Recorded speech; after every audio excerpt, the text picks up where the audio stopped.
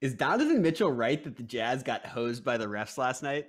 All right, so you might know this. The Sixers beat the Jazz in overtime. There was an incredible step back three from oh, Joel Oh, Embiid there? to to send them into overtime. But instead of talking about that or the Sixers win, we're gonna talk about the refs because after the game, a lot of the conversation from the Jazz was about the refs. There were some questionable calls in this game. I would say the majority of it started towards the end of the game, about 28 seconds left in regulation. There was a questionable call when Royce O'Neale appeared to have saved a ball that was going out of bounds, but then the refs kind of conferred for a long time.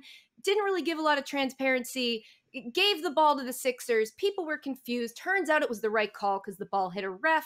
I'm getting in the weeds on these. Let's take a look at the uh, technicals that were called on Donovan Mitchell in Harris yet overtime. again. Tipped by Simmons and Bede. unable Just to put it dominance, on the board. incidentally. And a. That's such a resorting to foul. fouls to stop him. So And a technical has uh, been called. I Guys. think, well. oh, the dap. Yeah, Mitchell Note the dap to drawing Ben. too much. You see Joel? Putting the Mitchell as if to say, Yeah. we can't I just- this. with that? this is superstar, like and the official benefit of the doubt. Mitchell. I And mean, here's the second one. It's justice. That's what this is. Is it, Pablo? I mean, Donovan Mitchell didn't want to be there. I mean, look what happens to him. What? That's aggressive. Didn't want to aggressive. be there. That's aggressive. Mitchell, technical. He's gone. Looks Wow. Yeah. Huh. Two technicals here. Second technical for talking to the ref again. he has not stopped talking yet. Joel Embiid telling him farewell like is, that is no the kicker. ball down the other end. I thought he I was love him Oh, so much. Whoopsie. What? Oh, Look, I like that. I'm like a known Donovan Mitchell sympathizer, but I do like that when you accidentally hit someone with the Gatorade bucket you threw, it's nice to apologize. Uh, we probably assumed there were going to be some comments about this from the Jazz after the game, and then there were. I believe we have a clip of those. it's tough to, to go out there and see how we fight and compete and to have a game like that taken from us. And I'm never, ever one to, to, to, to blame a ref, to blame an official. I could say I, we could have Oh, done more, really? but this is getting out of hand. You know, there have been games like this that we've won. There have been games like this that we've, we've, we've lost. But this whole refereeing stuff and the way we're, we're nice, we don't complain, we don't like, we don't get frustrated. You know, we fight through things. And the fact that we just continually guffawing audibly. screwed in a way by this. You know, like we we won this game, in my personal opinion. You know, but like I said, I'm gonna give them credit. They won, whatever, cool. But like this is it's it's a consistent thing, and you know the question is, can we can we do it? Can we sustain it? Are we for real number one? Like yeah, the hell we are, and it's getting it's getting ridiculous, KK. That this is this is what's happening. Okay, so it's a clip of Donovan Mitchell saying, I don't like to blame the refs, but I'm about to blame the refs. He also said, in his opinion, they won the game. And as we all know, Pablo, more than anyone, opinions don't really make a difference on who wins the game. So I Yeah. understand the instinct to mock it, but his teammates echoed this same feeling. And the general idea was that there seems to be some conspiracy among the refs in the league against small market teams, that big market mm. teams get calls that small market teams do not. And so, in order to try to figure out if that's true, you need some research. And Eric Walden from the Salt Lake Tribune found a website called pudding.cool.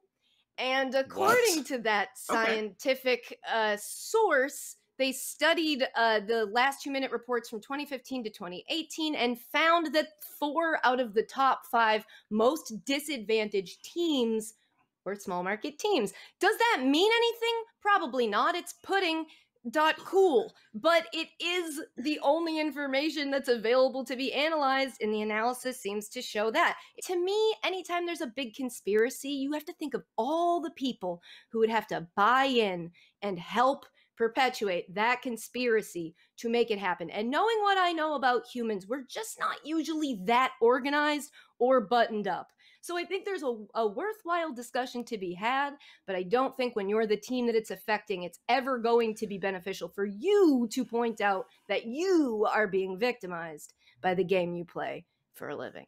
Correct. Uh, this is a lot. I'm with you 100% on the conspiracy theory, Katie. I don't think that, but I would be curious to see which of those small market teams over the time of that survey were actually contenders because I think superstars are the bigger theme here. And Utah, while they're a small market group, now has a superstar in Donovan Mitchell, and they're the team sitting at the top of the Western Conference standings. But we should have won that game. Not to mention the fact that you know opinions don't matter when it comes to wins and losses. There were opportunities. Maybe you don't pick up the second tech, Donovan, maybe you're on the floor with an actual opportunity to win the ball game. Now he was frustrated about the previous call when he got called for an offensive call for hooking Ben Simmons. It honestly could have gone either way, in my opinion. But at some point, you got to play basketball. That's the bottom line. Can I just be very blunt about this? I You're think going this is the be. I, I think this is the worst question I've ever seen in highly oh, questionable That history, can't which be is saying true. a Oh lot man. because there was once a question, Katie, that was does this cat have elite core strength? And this is worse than that. And I say that because we've now discussed a website called pudding.cool, Shout which out. to me, I apologize again here. This is very pudding.uncool because Joel Embiid, guys, what else do you need from him? What else do you producers up in the sky, Katie Nolan, Monica McNutt, what else do we need to get him to the top of the show? Is it a 40 point 19 rebound game that Mhm. involves a step back three pointer? Again, 19 rebounds, step back three pointer. That seems special to me against the number one team that thinks they won games that they actually lost. But I'll actually throw in some other stuff, right? Joel Embiid now, thanks to this game, has five 40 point, 10 rebound games. That is more than the entire rest of the NBA combined. They have four, he has five. He has a 40, 50, 90 kind of year going on with a defensive player of the year candidacy campaign that's reasonable.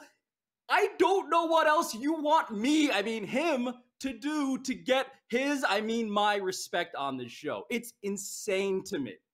Pablo, he has to have like- these numbers when the refs are not a storyline all week. Sorry, Pablo. Yeah, Pablo, you sound like a ref right now. Are you a ref, bro?